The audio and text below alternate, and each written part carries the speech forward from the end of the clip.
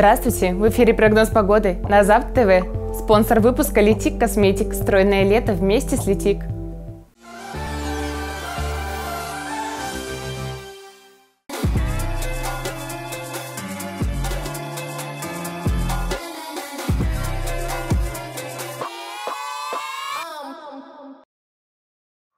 17 августа в среду ожидается дождь, ветер северо-западный 6 метров в секунду.